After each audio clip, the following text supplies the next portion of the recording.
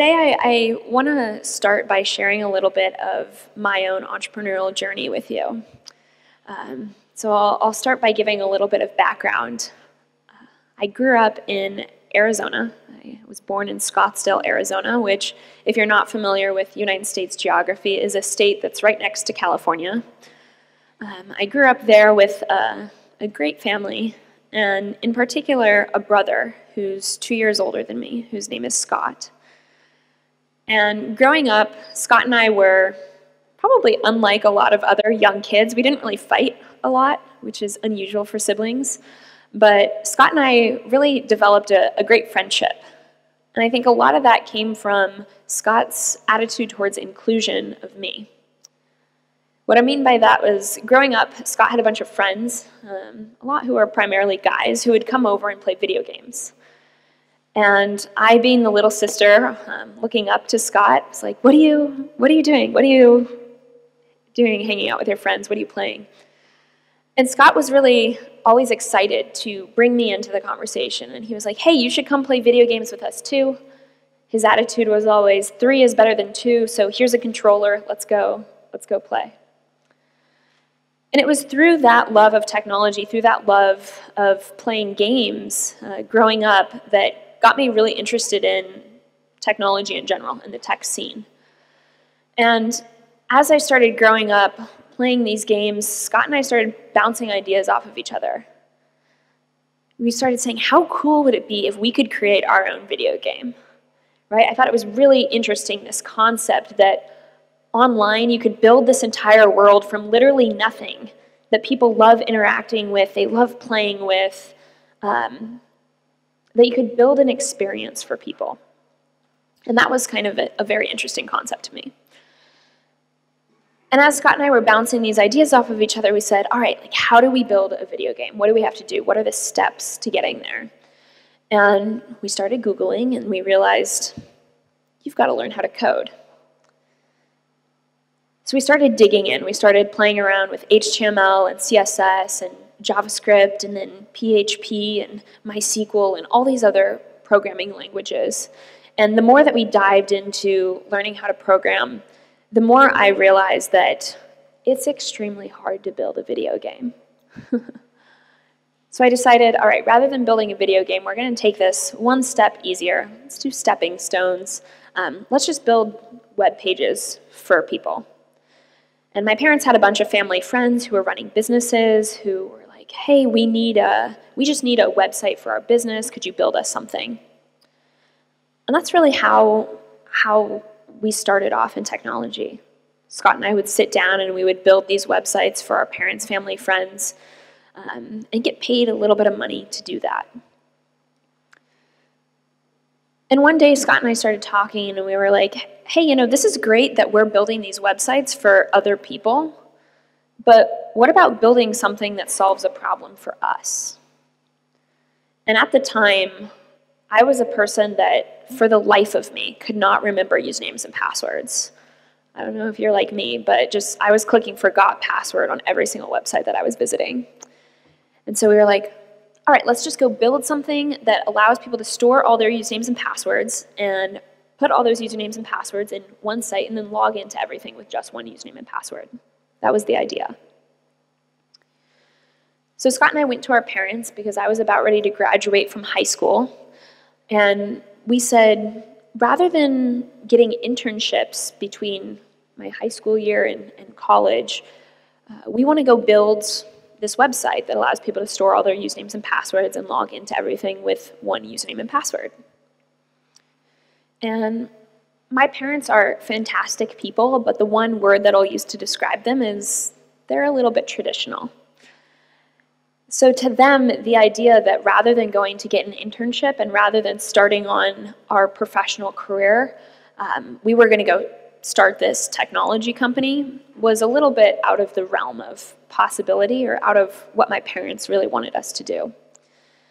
So, as we were presenting this idea to my dad, my dad came back to us and said, if you want to learn how to run your own business, one of those lessons is financial responsibility. So you need to move out of the house and learn how to be financially independent. So at 18 years old, I pack up my bags. My brother packs up his bags. We put them in the trunk of a car and we drove to south central Los Angeles. Again, if you're not familiar with, with uh, American geography, south central Los Angeles is not really the place that you want to be living as, as a young person or maybe just in general. But at the time, it was a place that we knew we could get cheap rent. So the math in our head said we had a certain amount of savings from these websites that we had built. And we had three months in the summer before I went off to college and my brother went back to college. So we said, three months, we've got this certain amount of money. We can rent out this two bedroom apartment and rent out one of the other rooms to someone else, and we can live in the one room together, and we can afford that for three months. So we moved out to South Central. And while we were there, my brother and I spent a lot of our days working on building the first prototype of my social cloud. It started off very, very simply. It started off with a pen and a piece of paper where we were literally drawing out what we wanted our website to look like. Then we took that and built out the front end to it, so built out um, what you can see through, through the computer screen and started coding that. Then we started attaching a back end to it so that people could actually come in, create an account, we would store that data, and then we would store all their usernames and passwords. And as we were starting to look at the database of what accounts and URLs people were storing usernames and passwords for, uh, we started realizing that some people were starting to put their bank account information on my social cloud. And we had a little bit of a wake up call because we started realizing that if people are storing their bank account information on our site, uh, then our site needed to be secure. so we reached out to one of my brother's friends, whose name was Shiv Prakash, and Shiv had just graduated uh, his master's from University of Southern California at the time in security. And we reached out to Shiv and we said, hey, we know that you've got a, a pending offer to go work at Twitter, but uh, we'd love for you to come for just a few months and, and work on this project with us. And Shiv somehow we convinced him it was a great idea, people were using it, that, that he should come and be a third co founder with us. So Shiv joined the team that summer. And then it was the three of us working on making the site more secure, making tweaks based off of customer feedback that we were getting, and continuing to, to grow users and share the story of my social cloud with other people to try and get people on the site. And as I was sharing my social cloud with other people, a lot of this was done through social media. And one day I had posted a tweet about us on Twitter and then just browsed a little bit on my feed.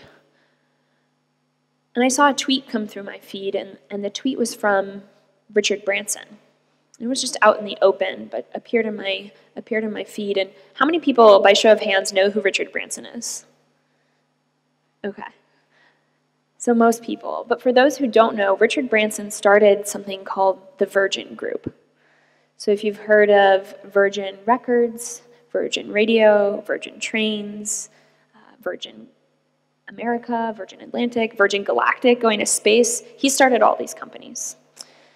And the tweet that I saw in my feed from him said, Come, meet me in Miami for intimate cocktails, donate $2,000 to charity, and then it gave an email address. And I immediately took that email address and I put it into Google and I said, Hi, my name is Stacey Ferreira. I am 18 years old, so I am not legally old enough to drink cocktails in the United States.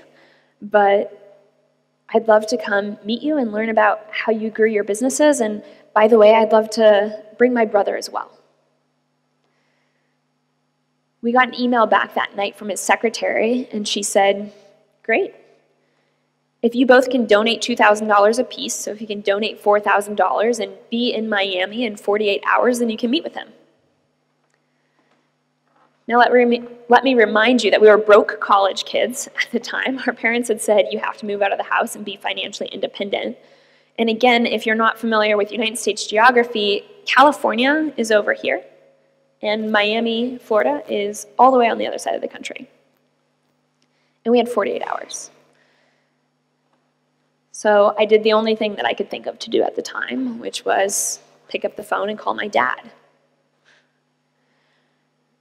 And I was like, hey, dad, um, remember this is 2011. So I was like, I know that you don't know what Twitter is. However, there's this amazing opportunity to go meet Richard Branson, and I need to borrow $4,000 to do it. My dad, being the businessman that he is on the other end of the phone, says, Stacey, write me a proposal. Why do you need this money? Where is the money going? And most importantly, I want to see that Excel spreadsheet with that payment plan of how you're going to pay me back. So my brother and I stay up all night, clock's ticking down, writing up this proposal, and we send it off to my dad. And in the morning, my dad gives me a call and he says, Here's the deal lesson in money management. I will loan you the $4,000 if you decide that you want to take the loan, with the one requirement that you pay me back in three months.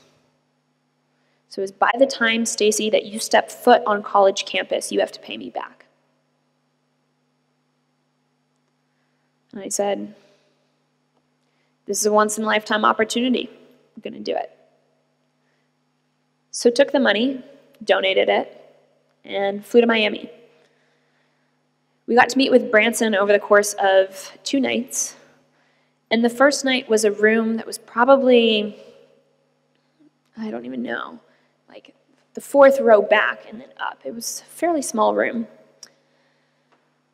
And one of the things that stuck out to me that night when we were there meeting with him was that it was an extremely small room. So I went up to his secretary and I said, you know, how many opportunities did you give to people based off of this tweet to, to come and meet Branson? And she said, we had 25 opportunities. And the thing that was fascinating to me was that I was going around counting the number of people in the room, and there were only 18 of us. And I asked her why. Why why would something like this not be 100% full? Like who would not want to meet Richard Branson? And she said, "You know, we have opportunities like this fairly often, but a lot of people don't take the risk." I kind of took a step back and I, I can identify with that, right? $4,000 is a lot of money. And just to have that laying around is extremely tough. To be able to fly to Miami on moment's notice, also an extremely tough thing.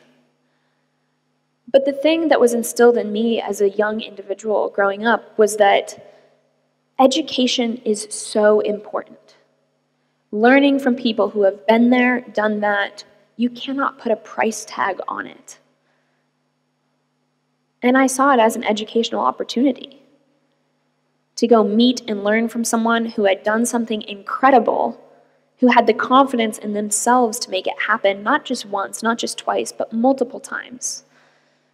There was no price tag on that. So, going back to that night, it was a room of, of us, 18 people, and my brother and I really had one objective for that night, and it was we wanted to get Richard Branson's email address. The reason why, again, goes back to this idea of learning. It was one thing to be in the room with him for that one night, but we knew that it would be another thing to be able to connect with him and build a relationship over time. And we wanted to make sure that we had the right tool, his email address, to be able to keep that relationship going. So that was the objective get his email address. And that night we went around the room and everyone talked about who they were, where they were from, why they were there, what what projects they were working on. And after that, my brother and I went straight up to him and we said, Can we have your email? Your personal email, not the one that goes through your secretary. And he wrote it down on a piece of paper and handed it to us. And then just to validate, I'll never forget my brother. he went over to the secretary and he was like, Is this, is this really his email address?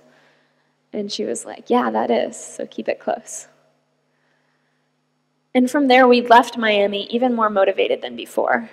Flew back to Los Angeles and continued working on making the product that we were building better and continuing to get our first customers on the system. And at that time, we were really marketing My Social Cloud as something that was a consumer product, something for each and every one of you in this room to be able to go, store all your usernames and passwords, and log in.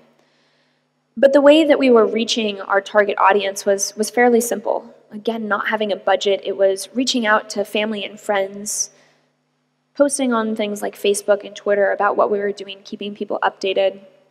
So we had a lot of questions around how we could really grow this. What are good channels for customer acquisition? So we sent Branson an email and we said, you know, we'd love your advice. What do you think our go to market strategy should be? How do you think that we should go about getting our next set of customers beyond just our ecosystem? And again, this was 2011. So he came back with an email that said, Hey, this sounds great, but I don't do a ton in technology right now.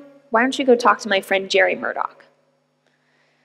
And Jerry Murdock started something called Insight Venture Partners, which is a venture capital firm. And very quickly, I'll make the distinction for people that might not know what, what venture capital or VC is. Venture capital, um, Jerry runs a firm that takes um, money from endowments, from wealthy individuals, and then invests that money in startups to help them grow. And Jerry got on a plane and flew out to South Central LA to meet with my brother Shiv and I and drilled us the entire day on our business. What is your business? How do you keep this thing secure? How many users do you have today? What's your growth rate, growth trajectory? How are you planning to go to market?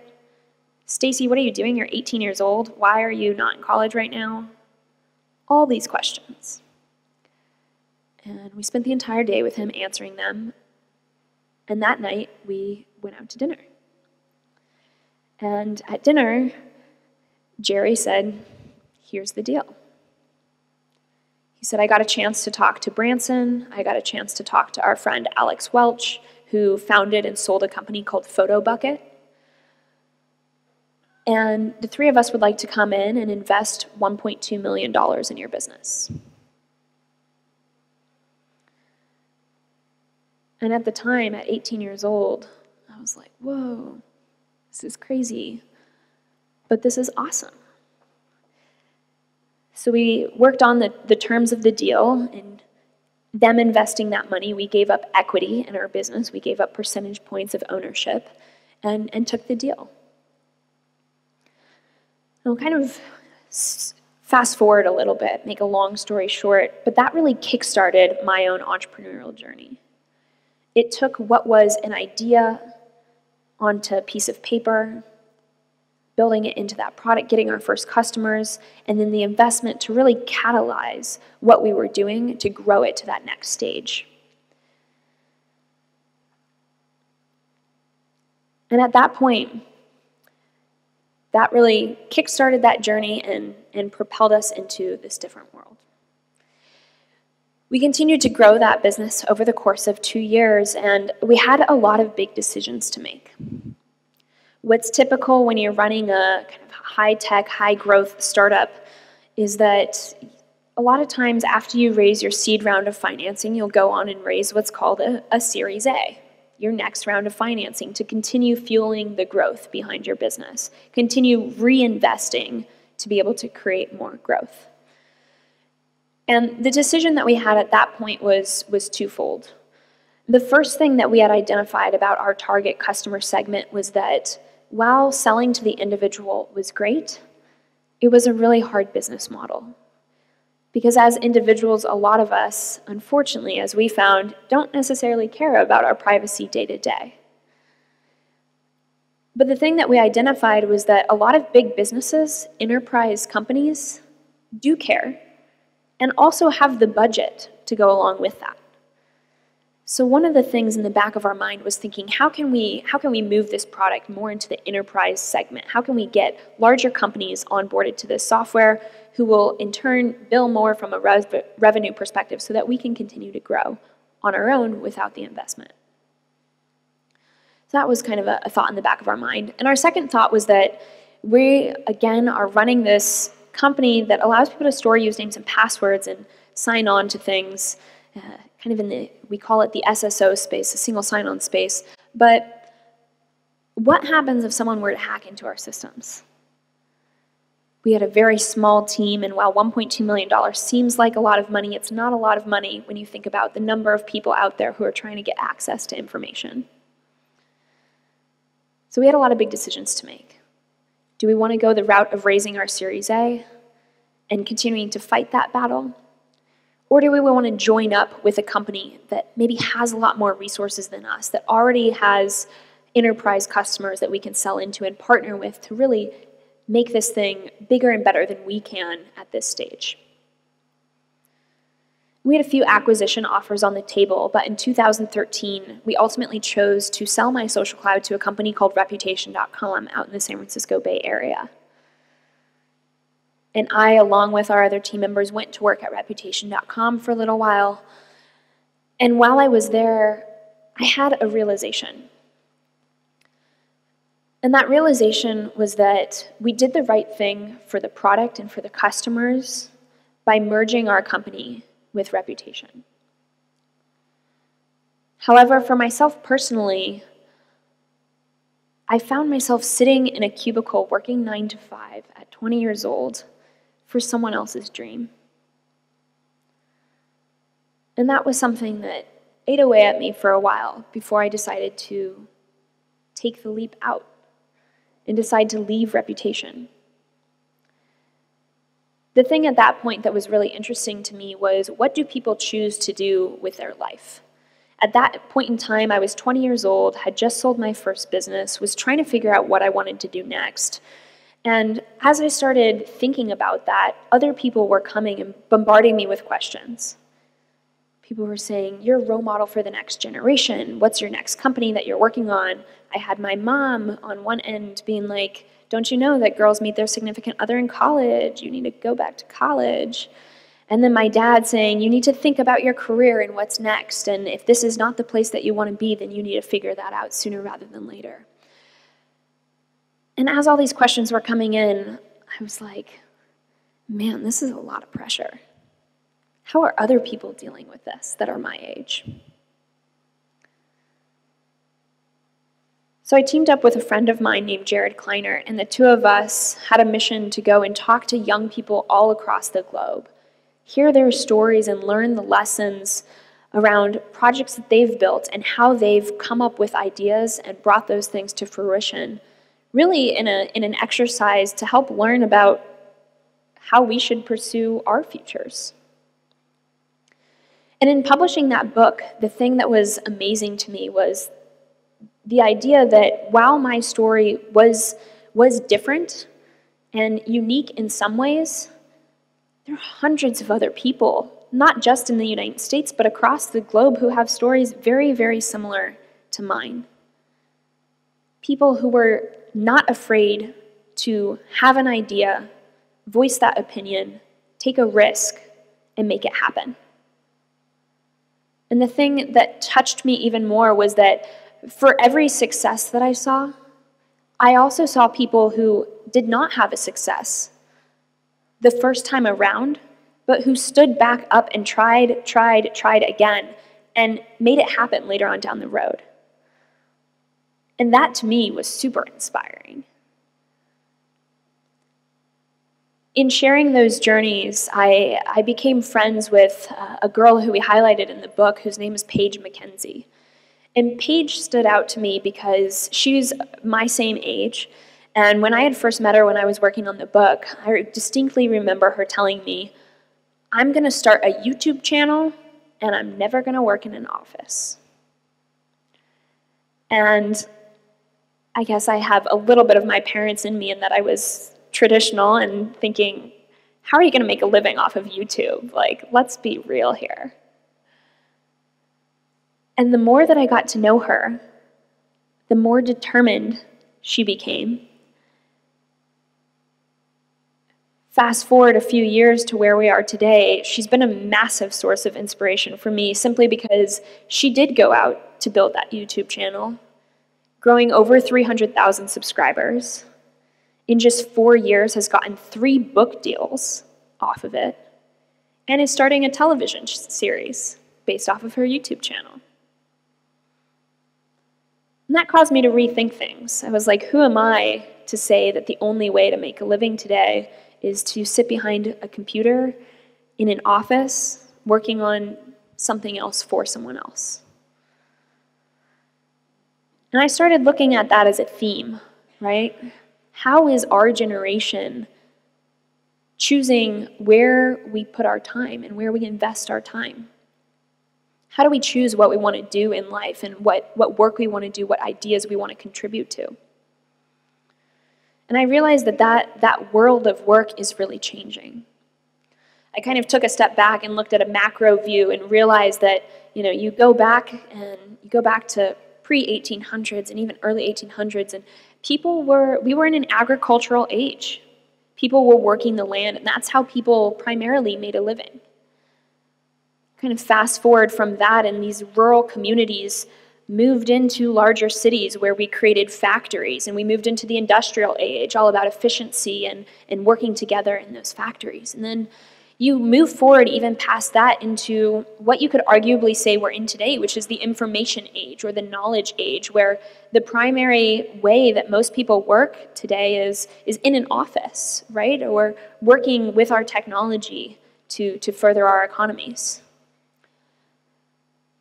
And my view is that we're still changing, right? As the world evolves, as technology evolves, we're still changing, we're still growing. And I think that the next age is an age of creativity, an age of entrepreneurship, an age where you truly can go out and be your own boss, create your own YouTube channel, start your own company, be a consultant working for yourself, and make a great living doing it.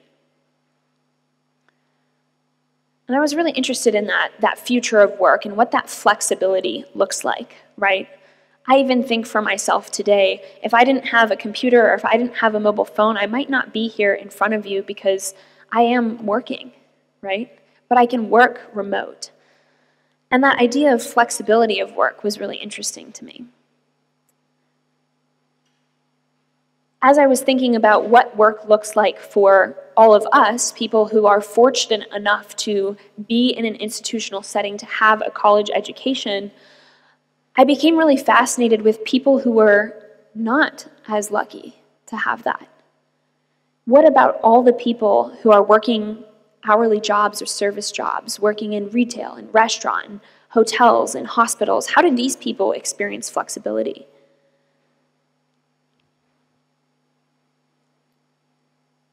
And if any of you have worked an hourly job or are working it today, I know I did back in the day, I remember a manager saying, Here are the hours that you have to work next week.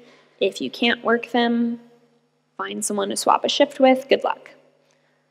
Not a lot of flexibility in that model, especially for the people who are sitting in this room who might be going to college but also trying to work a job or you know, the single mom who's working two part-time jobs to make ends meet but needs that schedule to be flexible so that her schedule doesn't conflict.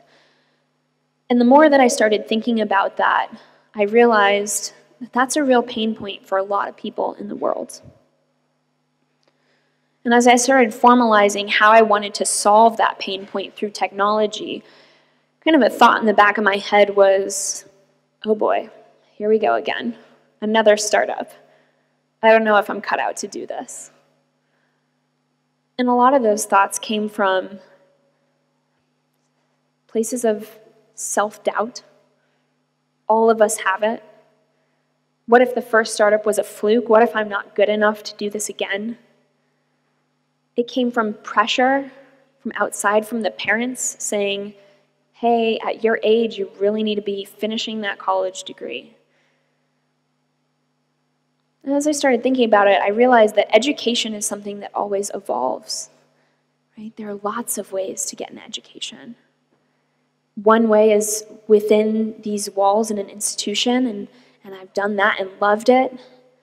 Another way is to go out and, and learn by doing that in the real world, by starting a business. And those things are interchangeable. I did a year at New York University while running MySocialCloud, and then dropped out to work on that full time. While I published the book, went back to New York University, continued to learn more, and that degree actually helped me with writing that book. I thought, once more, I can go and try something and see if it works. So in 2015, dropped out of NYU again to go start Forge, where we're bringing that flexibility to the workforce. I'll kind of fast forward even more to where we are today. We're just a year, a little over a year and a half old. We've grown the team to eight people in San Francisco. We've got mostly an engineering team. Our, our team started out very much as an engineering team. And now we've added on two people to help with sales and marketing. And we're continuing to grow market by market. When you think about the Forge product, um, we've got kind of a two sided marketplace, right? We've got employers who are looking for people to work at their place, and we've got people who want to go work and make some extra money and get paid. So going into each new market, we've got to build both sides of those. So we've launched in three markets to date San Francisco, Los Angeles, and San Diego. And my hope for the next couple of years is that we'll continue to expand, first in the United States, but then eventually coming over to places like Romania and sharing our journey and what we've built with all of you. So I know I want to I want to leave some time for some Q&A. So I'm going to pause there and we can jump into Q&A if that works.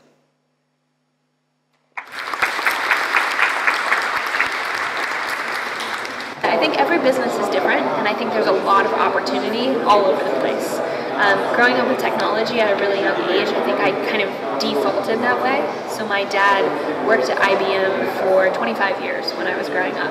And just by nature of him working at a, a technology company, he brought home a computer at a really young age, which is why my brain defaults there. That being said, I think that, as I said, there's opportunity all over the place. You can build any kind of business from scratch. We see it all around of us, right? We, we walk out these doors and we see people who have started a restaurant or who have started a retail location, right? Uh, these businesses are all around and it's possible to really do anything that you want to do, whatever makes you happy do you think you would have had the credibility that based on your investor at such a young age you would have had a classical business? Yeah, I think that I think that it's different, right? If I if I had run a, a restaurant business and then I wanted to get into tech, might be a little bit different. I might have to convince someone a little bit more. that being said, um, I think that it's doable, it's possible. Getting investors is, is really a sales exercise more than anything else. Can you sell people on an idea that you have? And I think it goes the second way around, right? Like if, I now, having done technology companies, wanted to go to um, to people who invest in restaurants, they might also say you're crazy, right? And I might have to convince them that they should give me money to run a restaurant. So I think it goes both ways. Um, exercise. It's it's hard no matter what. Uh, it's just about can you push through that and can you keep that idea alive and keep moving forward. No, two more questions. Did you ever have a period struggling financially, and if so, how did you manage it? Yeah, so I was going to say, so when we start started MySocialCloud, my dad told us that we needed to move into the house and learn how to be financially independent. And at the time, I had no more than like $1,500 saved up from building little websites. And that money goes really fast when you're on your own as a young kid, not having any income coming in because you're literally building something from the ground up. Um, there were days where I was eating ramen noodles and eating Doritos, which is kind of disgusting now I think about it, and like all this stuff just because I couldn't afford to go out and eat other stuff. I remember my brother and I eating fast food and like splitting a meal together because we didn't have the money to, to go out and get other food. Um, and then I'll, I'll never forget, there was a period, even after we raised our first round of financing for the first company, um, we opted not to take salaries very early on so that we could hire on more talent to help us move faster. So my brother and I didn't really take a salary. And I'll never forget, I was back in New York and the first snowfall of the year, and I go and I try and swipe my credit card to buy a jacket because I was from Arizona, so I didn't have like a heavy winter coat. My credit card got declined, and I was like, "This is not this is not good." Um, but I think that that was even more fuel in the fire for me of I want to control my own destiny. I want to be able to build a business, create the money so that I never have this issue again. Speaking about uh, the destiny, and this is the last question, do you believe that meeting with John Branson was luck, was destiny, was something you controlled somehow? I think it was a I think it was a mix of things. So I think that they say sometimes success is when opportunity meets preparation, right? And I think that it was an opportunity. Um, it wasn't. It was maybe lucky in some sense because I was on Twitter at the right time and saw a tweet. That being said, anyone can go on Twitter. Anyone can get tweets from specific people sent to their phone through text message. So there was an aspect of luck to it. Um, that being said, we were also prepared and not afraid to take the risk after that.